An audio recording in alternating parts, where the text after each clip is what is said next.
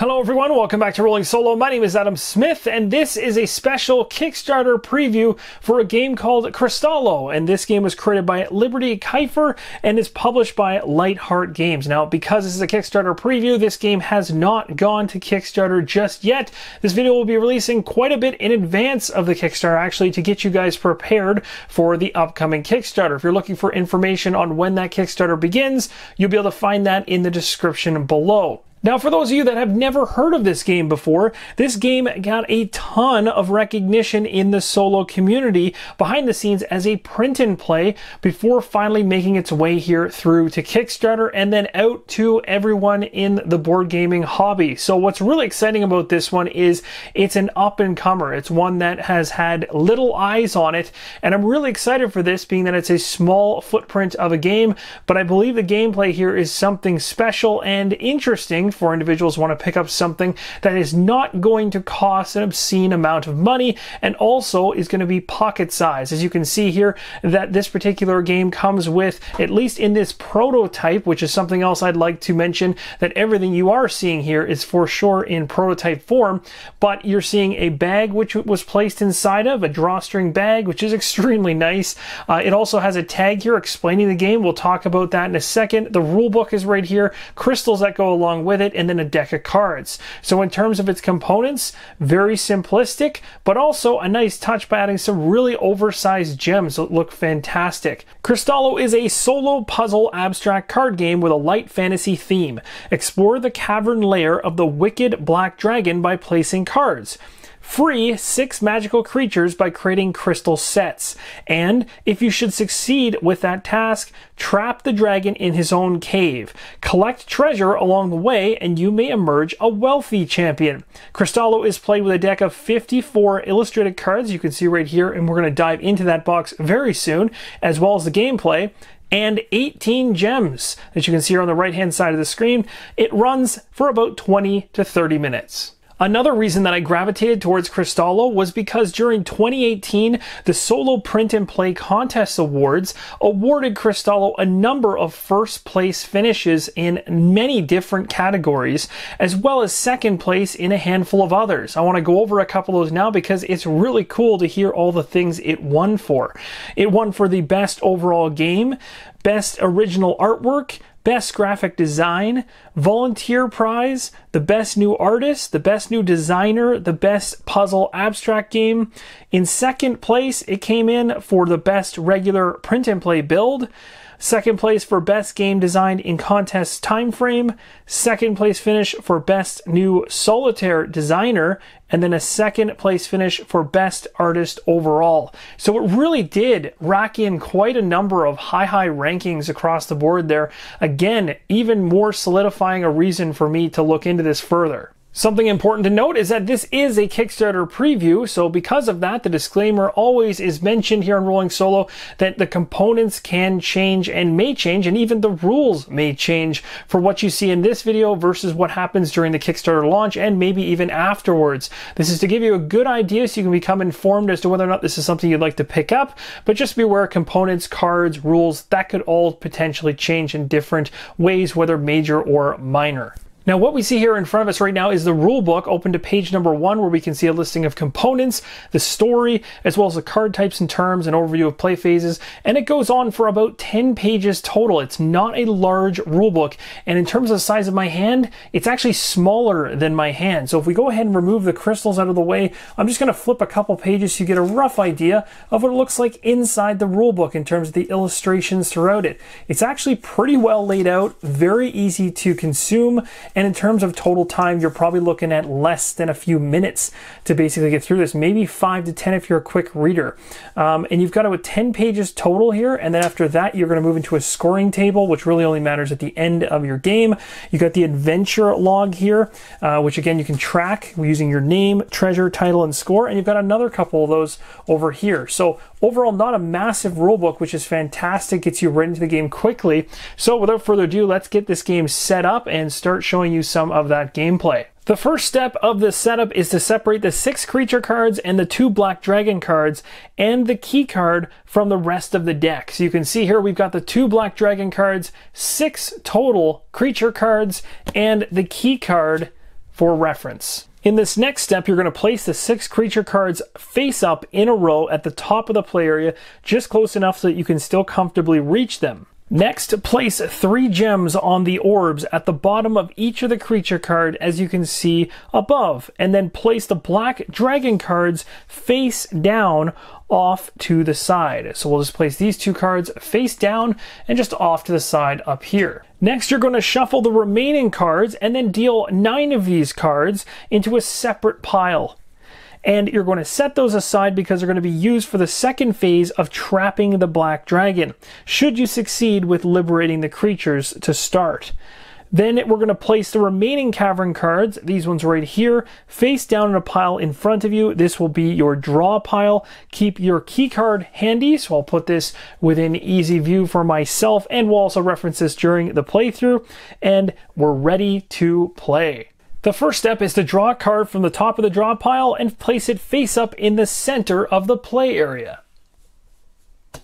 Next, we draw another card and place it so that any one of the crystals line up, whether it be horizontally, vertically, next to any one of the crystals on the first card. The second card may be placed side by side or partially covering the card already in place, as shown in a bunch of configurations within the rulebook. Here is a close-up of the rulebook and the seven different types of configurations that you can do when you're deciding to pair up your crystals. As you can see here, they're pretty wildly different. You've got some that are horizontal, some that are vertical, and those are more of the norm. But then you also have overlapping options as well. And this is really where the variability of your options comes into play. There's another couple rules I want to go over before we continue on placing our second card here to match the crystal.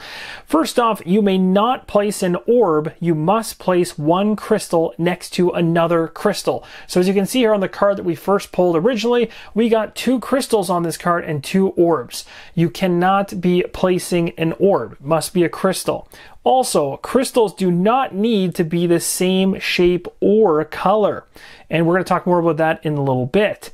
Once a card has been placed, it can't be removed. Now we're going to talk quickly about creating a set because remember we need to create crystal sets. And to create a crystal set, you will need to make a square with three crystals and one colored orb. The crystals may be combined in any of the four ways shown on your key card and they're also explained in the rulebook. Let's take a closer look at that key card in order to figure out how we can combine and make crystal sets. So here are the four ways that you can create a crystal set. You can have the same color and the same shape, that counts. You can have the same color and different shapes. There are actually different shape of crystals.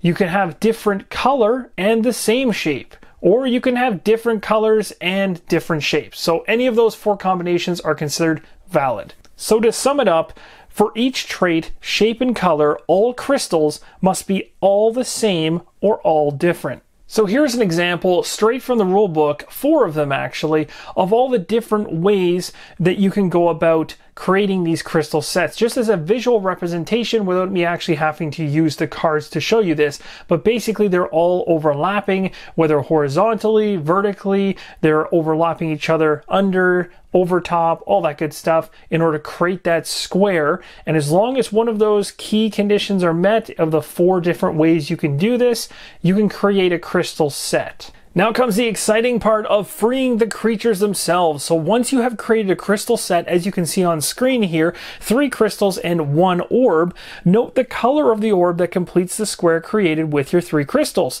That orb is now lit up. Remove a gem from the creature card of that color, so in this case it would be the Firefox as shown in the example here, and place that gem on the orb that completes the square. The orb on the creature card is now dark. So there is a nice representation of that exact action right here on screen showing a crystal set's been created with an orange orb.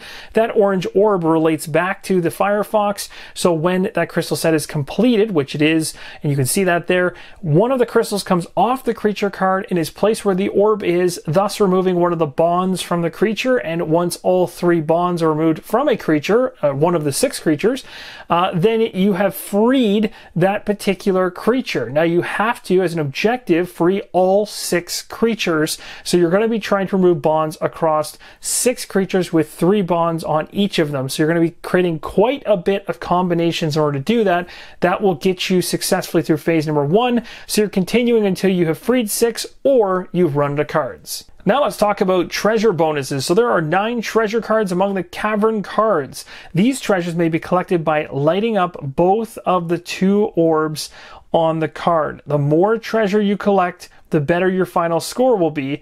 The treasures come in three types though. They come in riches, in magic, and battle. And collecting all three treasures of that one type is going to gain you a unique bonus, which again is referenced here on this reference card, making it easy to remember.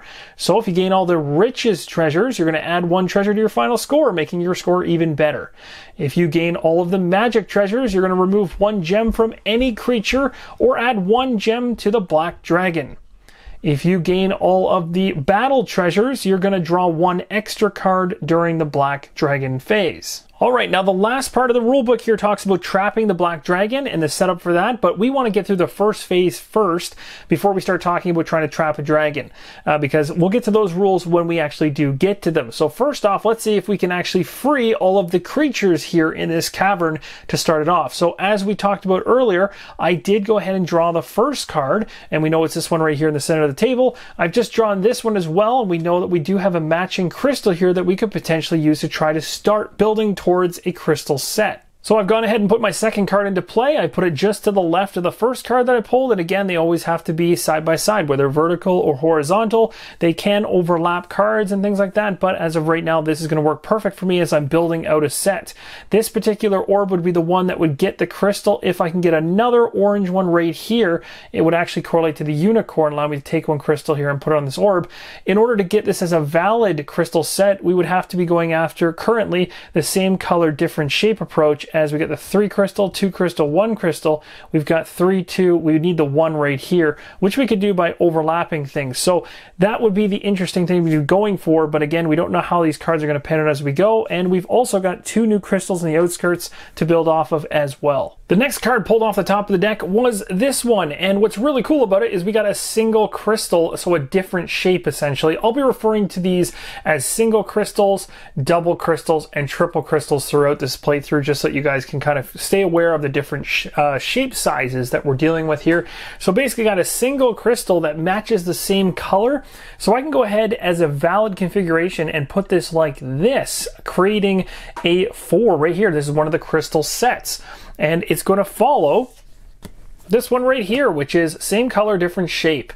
So that's pretty awesome. We get that right away. And then whatever's in the orb itself is the type of crystal that we grab and place right there. So we've already got ourselves activated one orb on the board, which is great. And we go and draw the next card.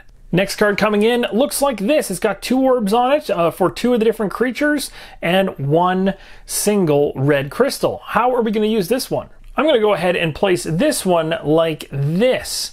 So again, as long as your crystals are adjacent to each other, this is a valid move.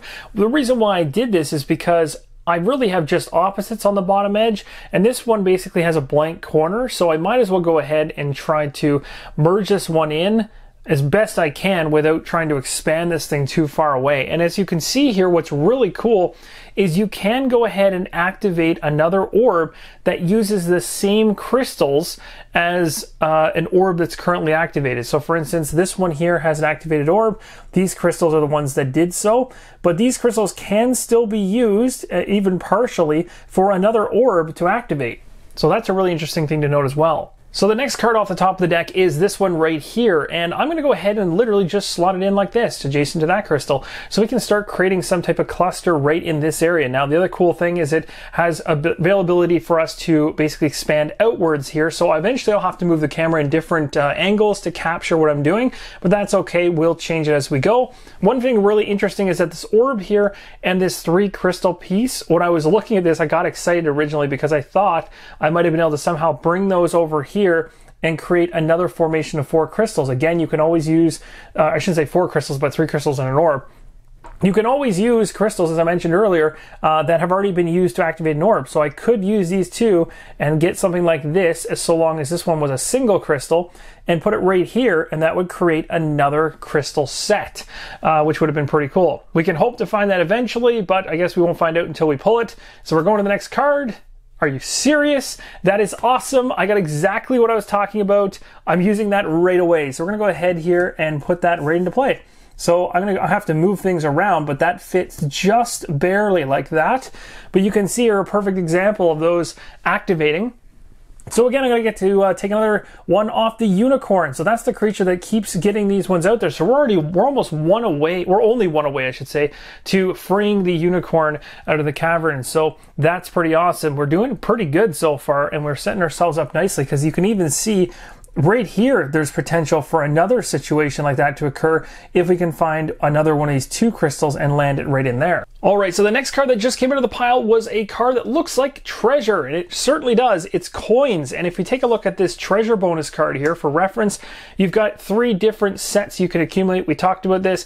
Riches add one treasure to your final score. So basically, if we're able to obtain all three of the items, how do you obtain those items? Well, we're trying to activate both of the orbs that are on a treasure card, and then we've obtained it. We're gonna have to do that across the three different treasures, which means we'll be activating a total of six orbs to get the ability below.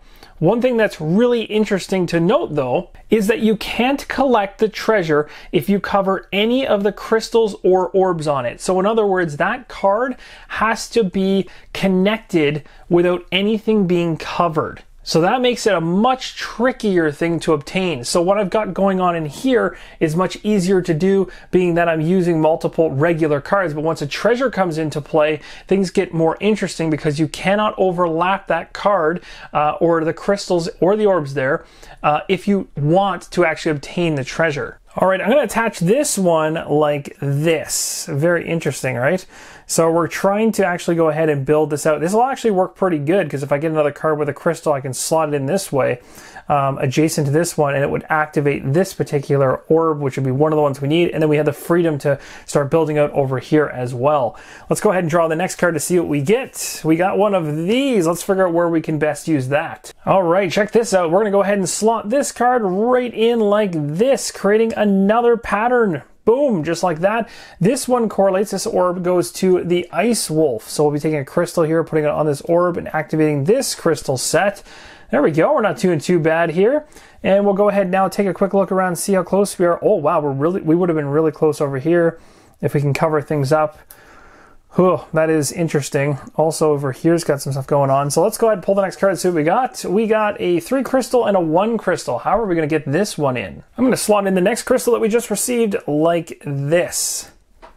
The next card off the top of the deck is this one. Let's figure out where to put it. I'm going to slot this newest card that I just got, put it like this as we try to build towards activating that particular orb, I'm realizing really quickly that I might have got myself in a sticky situation here, not being able to activate this one. It's going to be really tough.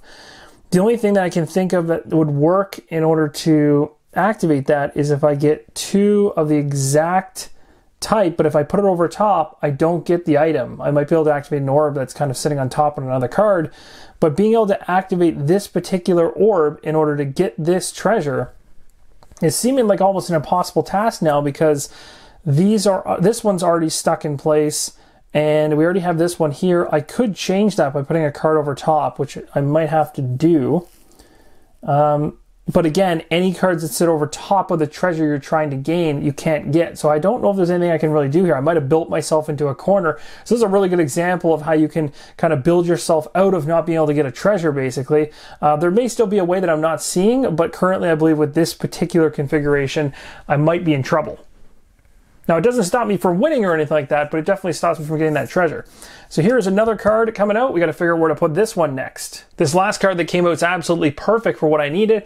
I can go like this, put it over top of that corner, and bam, just like that. Three of the same color, different shape. I get to activate the last unicorn orb like that. And this unicorn, I've literally just completed that creature, and you can see the cool combination here. And you know what's even cooler? I just realized by doing that, I just triggered another one on the opposite side for the Phoenix, which is the orange one. That's really cool. So this is where you can really be efficient. I guess I got lucky there with that pull and how I built that out. But uh, we've already got the unicorn taken care of, and now we also have the Phoenix underways. That was a two for one. That's pretty awesome. The next card off the top of the deck is, ooh, this could be very, very useful. Let's figure out how to get this one in. So I can't do too, too much with this one, but I might as well start off trying to build something out here. This will give me the opportunity to go for a different color, different shape right there. We'll see how this pans out. I couldn't find anywhere else that I thought really made too much sense for that one. We're gonna go ahead and draw the next one, and this is what we're dealing with. Let's find a spot for it. Awesome, there's a spot right here. I'll slide that in there, and that is gonna go ahead and have another crystal, or the first crystal, I should say, coming off of the seahorse. So just like that, we've created another crystal set. Awesome, we'll continue on, draw the next card. What do we got? This combination. Ooh, there's some options. So I wanted to show you guys that when I went ahead and I created enough crystal sets to actually free the unicorn, uh, I was able to push the unicorn up, signifying that I had freed it from the cavern, and I did that by creating those crystal sets you saw earlier. So having a unicorn uh, orb out here kind of starting off a tail doesn't really make too much sense. The one I pulled has a unicorn orb on it as well. I'm going to stuff that into the middle here. We're going to, again, we're always, no matter what, it's always the focus is connecting those crystals adjacent to each other, whether it be overlaying them onto another card or by doing it side by side. So this is a valid placement. Plus it kind of keeps that unicorn uh, emblem inside where I'm not really going to use it all that much. And then over here, it begins to allow me to go after the seahorse and try to build some kind of crystal set over there. So let's go ahead and grab the next card and see what we get. This is what we're dealing with for the next puzzle piece. So I'm going to come to terms with the fact that I've really messed this up and I'm not going to be able to actually get that particular orb ignited anymore. Uh, the only other way that I could think of doing that is if I did something like this with this card, you know, lying it like this. Then the question would be is can I get another card to sit over top of it? Technically, yes, I could actually. So I guess it's not a complete loss just yet. But how do I get, oh no, it's doable. That is actually doable. Never mind, we could potentially still make this happen because I've placed a card like this, which is valid based on the crystals. I could overlay another one that has a single crystal right here, and that would salvage me and allow me to actually activate the fairy. I did not know that. That's very interesting. So there's quite a bit of strategy here as you kind of dive further and further in this one in terms of options. So it's really, really cool. I'm liking this quite a bit. The next card to pull out is this one. Ah, it doesn't have the single red uh, crystal that I wanted, but I'm sure I can make use of this somehow. This last one I pulled, I'm going to go ahead and place like this. Again, kind of forcing the unicorn into the middle. Again, I don't know if there's any good strategy towards doing that, but my essential idea is that if I can push it towards the middle where I'm not really going to use it all that much anymore, then I can start branching out and building off the orbs that I actually do need to activate.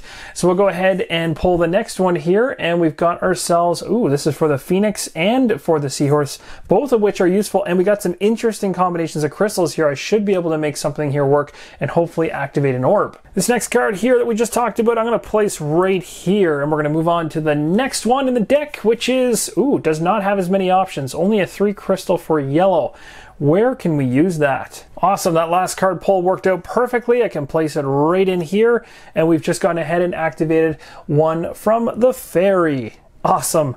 Next up, the next card is, oh, look at that. Finally, some more treasure to add in. And this one is for the riches category, which is perfect. Goes along with the coins we have at the bottom. So if we get the coins, we've now got the necklace out and we need to find the crown later, hopefully. Uh, we also need to get these two orbs activated. Let's put this in a place where we can make that happen. All right, so we got the item here. I'm going to go ahead and actually just connect this one just like this, kind of similar to what we did with the other item, building off and giving a separate area where I can start to try to succeed in activating those orbs. Now, I could have used the three crystals right here. Just a little bit south of this, there is a spot where I could have completed and activated a different orb, but it would have put this item in a position where it would have been very tough to uh, complete. So I didn't want to do that right now. We're going to hope to find uh, a three purple crystal later on in terms of shape. So the next card coming out, ah, not a three, it's a one. And then we got two of the symbols here that correlate to the ice wolf. Let's figure out how we can use these right now. I'm going to place this newly acquired card just like this. And we're going to hope in the future to put something kind of side by side over top. If we get a double purple and activate the fire emblem for the Firefox. And check out what I just pulled off the top of the deck. It's another treasure and it is part of the riches line. So we literally have the three cards out of the nine that are for one of the lines, which works out perfect. It took a while to get there. I think we used almost half the deck. So uh, maybe I shuffled this really poorly, but I did do uh, all the different different types of shuffling you can imagine to keep this deck mixed up. Um, but for whatever reason there, it took a little bit longer to start finding those treasures, but now they're just starting to come out like crazy. We got to find a way to make use of this and put it in a spot where we can actually complete it. I should be able to find something to use these single crystals for. Maybe I can connect something. The newest card I'm going to place way over here so I can start building out towards obtaining that one as well.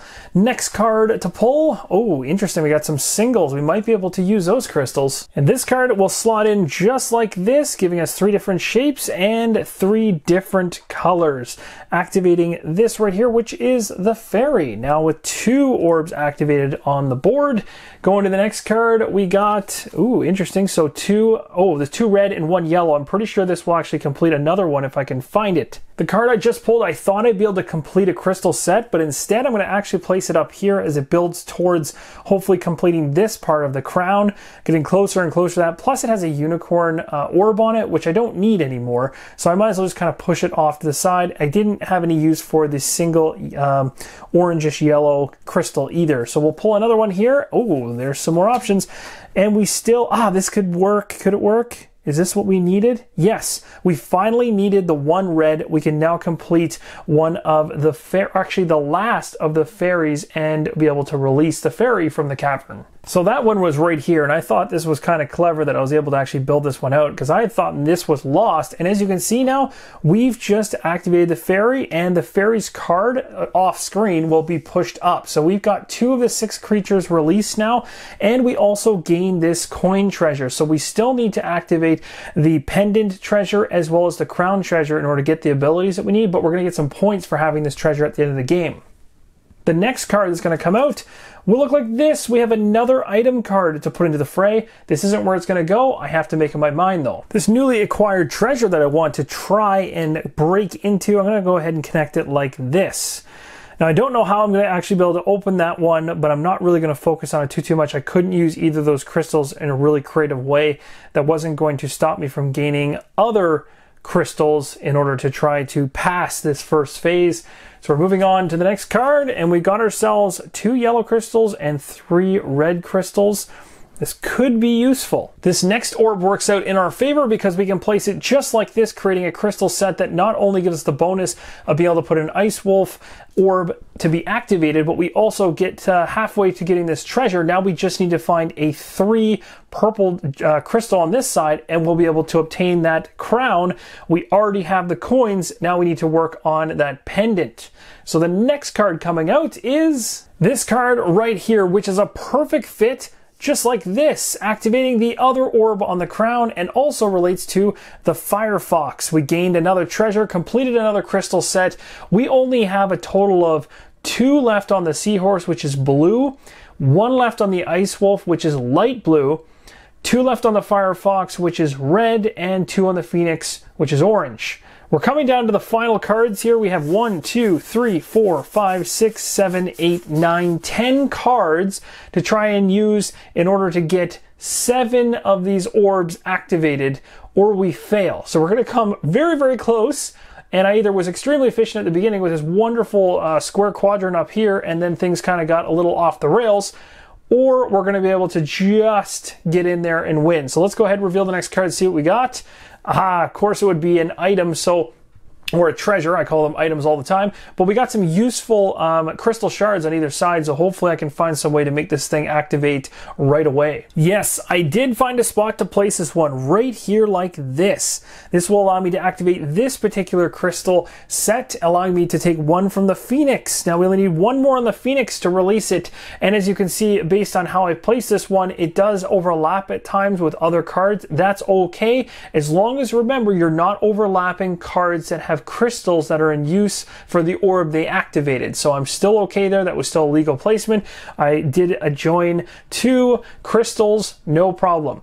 All right, and when I say two crystals, I mean just two actual crystals, not the number of crystals that are actually shown there in the icon that I continually refer to throughout this.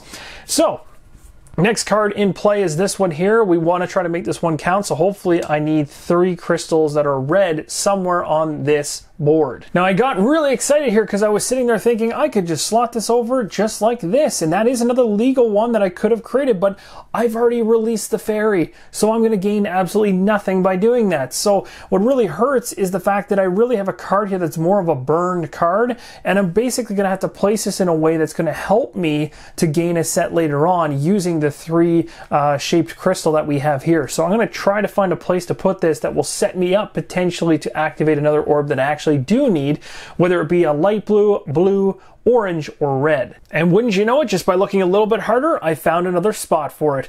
I'm going to go ahead and slot this thing in just like this, which is going to activate this one, which is the Phoenix, which is the final one we needed to release the Phoenix. So the Phoenix is now going to be pushed up. We are halfway there in terms of the number of released creatures. We now only have five more crystals to get on the board. We have one for the Ice Wolf, two for the Firefox, and two for the Seahorse and we are down to probably our last one, two, three, four, five, six, seven, eight cards. We're doing really good so far. We might be able to pull this out. The next card off the top of the deck is this one. Again, another tough one where we're going to have to try to make use. But the good news is this can actually be used by a seahorse. So a seahorse is, has two crystals that I do need to get out of that creature card. So I can hopefully try to find somewhere here to put this purple three that's going to help me. And I think Mm, I think I might have found something. Oh yeah, I got a spot for this one. I'm to place this one over top just like this, and that is going to set up another crystal uh, set. And this again is relating back to the seahorse. So there's another crystal there. Doing really good in these last few uh, cards here. Maybe it's just how I've set things up, but I've got a really tightly knit combination of stuff going on here. The next card coming out is, uh, this is going to be good because this will give us options. We don't need the Phoenix one to be activated anymore, but we do still need the Ice Wolf. So this one is going to be interesting. Can we use this purple and this orb in a way that might generate us the last uh, orb activation for the Ice Wolf to release the Ice Wolf? Now this is a pretty safe bet. If I go ahead and place this one just like this, I've basically built towards potentially unlocking the last Ice Wolf orb. I just need a single purple one, so we can only hope and dream. Next card off the top. Oh my gosh, I got it. I got it. So I can go ahead even just like this, and I've completed that particular set. So the Ice Wolf now has a shard here, and it has been freed. We are literally down to just the Seahorse with one crystal and the Firefox with two. We have only five cards remaining. The next card in line is this one. Now, this is good on the standpoint that the two crystals for purple are near the fire emblem, which is one of the ones we need to uh, activate to get one of the uh, crystals off the Firefox. So here's hoping I can find a spot to put it. All right, I found a spot for it. It's really, really tight, but it'll work because this particular crystal orb is using these crystals here, and I'm not covering any of them by doing this. And also, I, this is a legal placement because I'm covering the corner over here, and I am going to be actually touching uh, crystals together. So I'm really setting myself up here for a really cool combination because I've left this open. Um, we'll have to see because I might be able to place a card right here going off this way that would be the opposite color and shape. So basically for this to work, it would need to be a, a yellow single crystal. Uh, but it's kind of a gamble. Based on how I've got things going here, though, that actually is my best option. So let's go ahead and pull the next card. You've got to be kidding me. That is so cool. Okay, so this is exactly what I was trying to set up and it worked, I think, perfectly. Yeah, you can actually go just like this. And because that, that is a legal move as well. And just like that, we activate one of the Firefox crystals. Sweet. Okay, two more to go and we're down to three cards. I'm a little terrified here because I really hope I have enough set up to make this work. The next card is, oh, it's going to give me lots of options, but it's a little scary because both of the emblems are not emblems I need at this moment. I need more of the, I need to activate an orb that is a uh, fire emblem or the water seahorse emblem. But these two crystals could help me to do that, so let's figure out where we can use them. So I want to show you guys how crazy close this is coming down to the wire. There are literally only three orbs left that relate back to the seahorse that I haven't put into play yet. Now I might get a card that might allow me to put a water one in play an orb, uh, but as of right now I only have three to work with. That's this one right here, which is buried so much in the middle that I couldn't even get a card in there even if I wanted to. Um, I could overlap cards, so I shouldn't say that I can make that happen, but the difficulty of that is extremely hard with the number of crystals uh, or orbs that are activated around it and the crystals are using. I can't overlap crystals in use. So that makes getting to this one extremely tough. So the only ones that really make sense at this point are these two. This one here gives me no benefit to go towards it. This one at least if I activate this one, I not only get to free the seahorse, but I also get points for the emblem if I can activate this opposite side which ends up being for a unicorn that I've already freed. So I'd be going after somebody that's not going to help me win, but just for bonus points. So that's not really a priority right now. So I have to go after this thing don't really have much choice, but this was the card I was given as you saw earlier, so I have to find a way to really make this work. So I'm going to be working off of this card and trying to find a way to somehow create something and then hope the card I need comes up. It's going to be quite a gamble. So I basically have a choice here as to whether or not I want to connect this thing, maybe something like this, so that I'm one step away from activating and just hope I get the right one I need, or flipping it around and doing this. So really it comes down to do I think that I'm going to get the three crystal red, or do I think that if I do it this way, I'll get the two crystal yellow. Uh, which one's out more? Well, I can see visually, even though a lot of these things are overlapping each other, visually I can see seven yellow uh, two crystals. Uh, but in terms of the red three crystal clusters, I can see six. So again, don't know if that's even accurate because a lot of stuff is overlapping. I'd have to actually like dig into this to see uh, what my odds are. And I'd also have to know the odds off the top of my head, which I don't.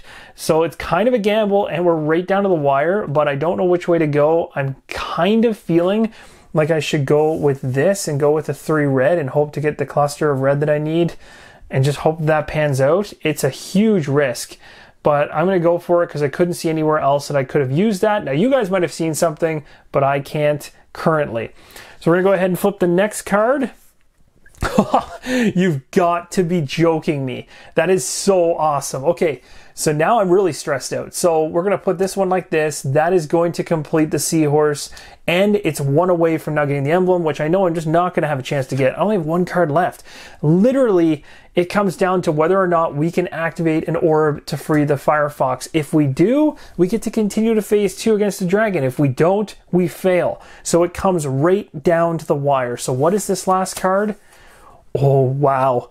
So that's a good one to get. Uh, bad that we couldn't get the treasure in the end, likely, but we do have some options with the two yellow or the two red on the shape of the crystal. So I'm hoping I can find somewhere where I can activate in a red symbol. And I do want to show you guys the amount of red symbols on the board before I start figuring out where I can put this. So what I've done is I've actually put the camera at an angle where you can see absolutely every fire orb available. There's quite a few of them. There's like one here, there's one here, here, here, there's one off to the side over here, uh, there's one down here. So there's a few. There's a few that we could work off of. Some of them are actually in better areas than others, uh, but I'm to try to see if I can make this work giving you a good glance at the board because you might end up seeing something that I miss and you might be screaming at the screen because I don't see it. But I'm going to start looking right now to hopefully find a way to make this last card fit. You guys are not going to believe this, and I literally freaked out when I found it. There is a spot where this actually works. I can slide it in just like this. It's crazy. And because this particular orb is using only these crystals here, remember you can share crystals. I can share crystals with this particular orb, which then now has a full set of twos. So literally on the last card, we were able to help all six creatures escape. All of them have been pushed up and we actually completed phase one. That was an absolute blast. I absolutely love the tension of this game and the crazy amount of combinations that you can kind of come up with to make this work.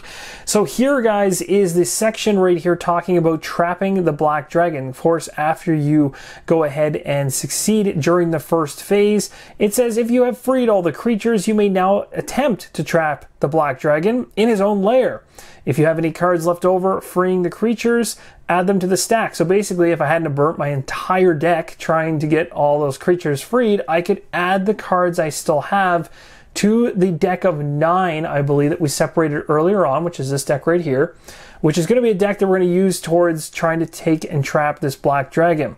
We clear the play area, gathering the gems in a pile, place any collected treasure cards to the side face up, shuffle the remaining cavern cards, place this deck to the side, stack and set aside the creature cards. Next, we turn the Black Dragon cards face up and place them at the top of the play area, replacing the creature cards. Take your stack of nine reserve cards and turn, or nine plus, but nine for me, and turn them all face up in front of you. And that is going to conclude this Kickstarter preview of Crystallo. I really hope you guys enjoyed this overview of the game. Hopefully, it gives you a good idea of what to expect when this thing lands on Kickstarter for May 1st. Really excited for this one. Again, it's always nice to have these solo games that are small sized and don't cost a ton but have so much gameplay inside of them. I really like the design of this one. It's really clever. There's lots of thought and half the time when I pulled a card it took me a few minutes to figure out where was the best and most optimal place to put my card. Of course if you're just playing this off the cuff quickly uh, you might not be able to get the best structure and come out with a victory like I barely did by the skin of my teeth at the end of this. One thing that I will say is that when the Kickstarter does launch in May, what I'll do is maybe at that particular time, I'll do a follow up video where we'll move into part two of Crystallo, where we talk about how we're going to trap the Black Dragon. We'll basically continue on and see whether or not it's possible that I can pull this off. But for now, this will give you a good enough look at the gameplay, the mechanics, and how this thing flows, looks, and feels. Thank you guys so much for watching, and as always, keep on rolling solo.